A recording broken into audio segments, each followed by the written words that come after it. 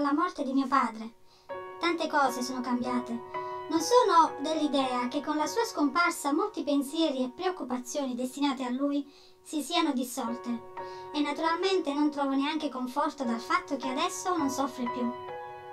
Il fatto è che ha sofferto così tanto per 30 anni per la dialisi e altri 19 di agonia prima che morisse e tutto questo non mi fa rilassare il pensiero, ma lo infervora a ricercare il perché. Non so se sia il percorso del lutto che mi fa avere questi pensieri di rabbia e malinconia. Sta di fatto che è un periodo molto difficile e doloroso e naturalmente con la sua scomparsa molte altre cose sono peggiorate.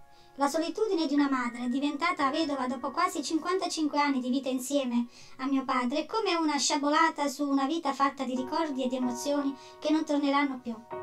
Tutto si sgretola di colpo, ogni figlio cerca un rifugio, un diversivo per poter elaborare il lutto, piangere e sfogare la propria rabbia.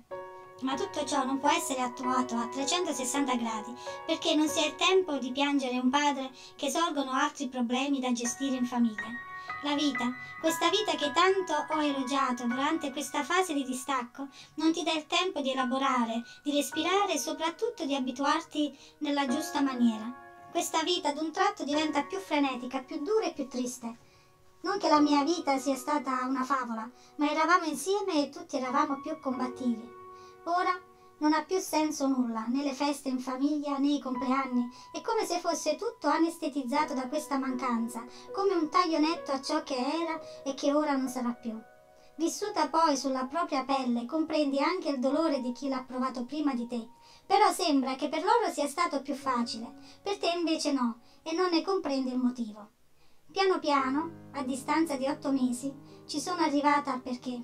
Sta tutto nella sensibilità a cosa ti ha lasciato un padre, a cosa hai provato sia nei momenti brutti che belli assieme a lui.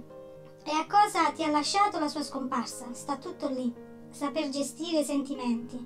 Se parti dal presupposto che la vita, forse riesci meglio a metabolizzare la morte. Se parti dal presupposto che un padre combatte per vivere e ti lascia questo sentimento così forte, beh lì il metabolizzare è assai difficile perché lui non si rassegnava che così era la sua vita e automaticamente l'ha imposto come pensiero a noi figli.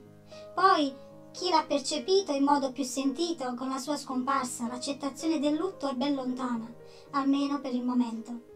E intanto, dopo otto mesi, sto ancora qui a pensare e a pensare se sia giusto ancora pensarci o se sia giusto adattarsi a questa nuova realtà e andare avanti.